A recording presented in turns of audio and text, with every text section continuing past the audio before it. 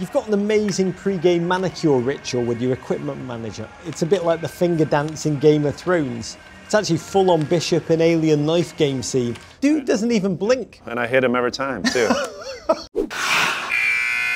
Rog in Tampa, Florida, with a true hockey giant. He's six foot six, 229 pounds, Hodor size, but he has so much more than physicality. He's got the speed, he's got the shot, he's got the passing game. Who says you can't have it all? It is magical to sit down with one of the NHL's top defensemen, hockey Zlatan. Oh, Mr. Victor Hedman. How you doing? Oh, good now I'm with you. because your journey from northern Sweden to the NHL is a remarkably human one. You are a son of Örnsköldsvik, Sweden. The locals call it Ovik, a small industrial town six hours north of Stockholm. Paper mill town, 30,000 people. Ovik has been the birthplace of 13 NHL players, including legends Peter Forsberg, Henrik Sedin, his twin Daniel Sedin. It sure is a hockey town. It's what Brazil's futsal courts are to the Premier League.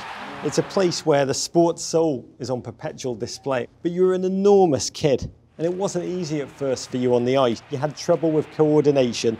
Was it that your body couldn't keep up with your mind? I grew so fast when I was young. I just remember the pain in my legs. Once I stepped on the ice, I fell down a lot. I had a lot of second thoughts about playing the game. Your brother once said in the early days you skated like a moose. do you remember your mind transmitting messages that your body just wasn't picking up on? I wanted to do one thing and my body said another thing and just ended up falling down. Well, you were frustrated that you couldn't get it to work and you see the smaller guys flying around the ice and why can't I do that? You've said that you were at times quite an awkward kid. Yeah, I mean it was, uh, it's tough and uh, you know I have a you know, I have a birthmark on my side too. That was a lot redder when I was younger, and I had no beard at that time. So, uh, you know, that was kind of tough for me too. You know, everyone have birthmarks, but mine is, you know, this size and on my left cheek. It was tough growing up having that, but that's one of the things that's made me stronger. By November 2006, age 15, it had all started to come together. You were six foot five, you weighed 210 pounds. It was your puck handling and smooth skating that made you a global elite prospect.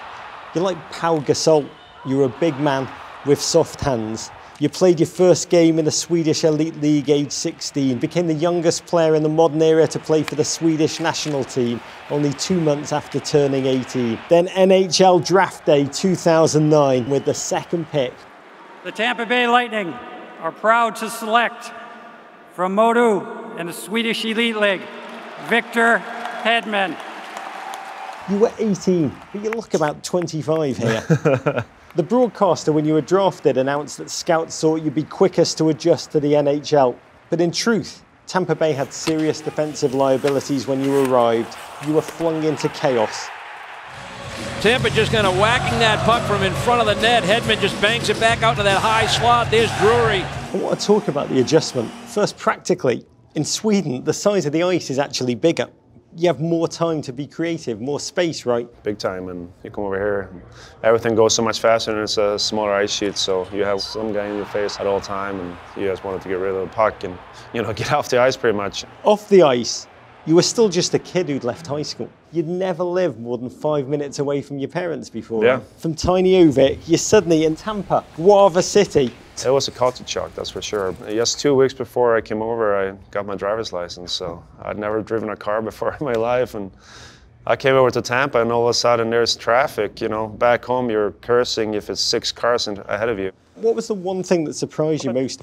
The size of some of the vegetables when you got here, that was unbelievable. How many mushrooms are there in the supermarket? Exactly. What did you miss most about Sweden besides family and friends? Swedish candy. Wine gums is one of my favorites. Swedish fish is overrated.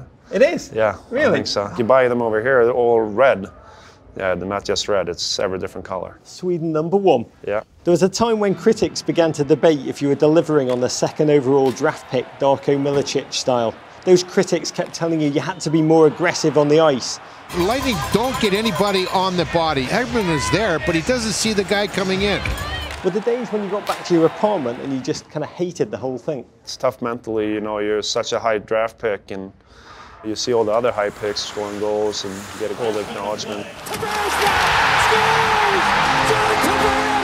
But you got to be resilient here. I knew I had better in me. There's a hockey adage it takes a defenseman 250 games to really find his feet.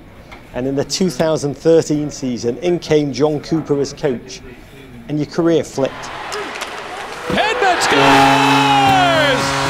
Victor Hedman's second goal of the game. You scored 13 goals, 42 assists. You suddenly looked confident at both ends of the ice. Can you describe your style? Because you're like a poet warrior. I'm not a physical force in the sense of hitting people. When I hit people, it's to get the puck back, and, and I'm not out there looking for the big hits. I let my skating do the work and try to have my hockey IQ to set up my teammates and be a force on the ice. You even have the ability to go coast to coast, as you did against Ottawa. Victor Hedman will start back the other way. Hedman crosses into the zone. Hedman scores! Do you remember that Yeah, I sure do, yeah. That feeling. Yeah. The ice parts like the Red Sea. Well, you see the opening and you try to fake something else and then you take that ice and cut across and it's a good feeling to see that one go in. Ottawa have to stop Victor Hedman on the break. We are living in a golden era of NHL defensemen. You, Brent Burns, John Carlson scoring for fun. I mean, you guys are now expected to fly up and down the ice like Trent Alexander-Arnold on skates. What extent has the NHL changed with its emphasis on puck movement, puck possession, and creating offense? When I got into the league, there's a lot of big bodies. You know, you had the fighters on the fourth line and a lot more checking, hard hits. The young kids that come in these days, you know, the McDavids, Russ, Kucherov, they're just ready to play and they have all the skill in the world and they move like the wind and things they can do with the puck, it's insane. So I love the way hockey's trending right now. On June 20th, 2018, you, Victor Hedman, became the first player in Lightning history to win the Norris Trophy, the NHL's defensive MVP. How did that feel as you cradled that trophy? What I was most nervous about was the speech I made on the stage. I'm not a great public speaker, Wow, this is uh, pretty amazing. so I was in the bathroom for probably two hours just repeating the speech, and I had it all inside my pocket. And believing in me. you know, once I got up there, I got the trophy in my hand, so I couldn't go and get my uh, speech. so then I was kind of panicking a little bit, but I was super happy with the way I performed up there. home, To my parents, my wife, I wouldn't be here without you guys. Thank you. You have had some journey from a kid who was a big man making himself small in every photo to becoming a second pick in the NHL draft, who some started to consider a bust, but then establishing yourself as the best defenseman in the league. Is that enough?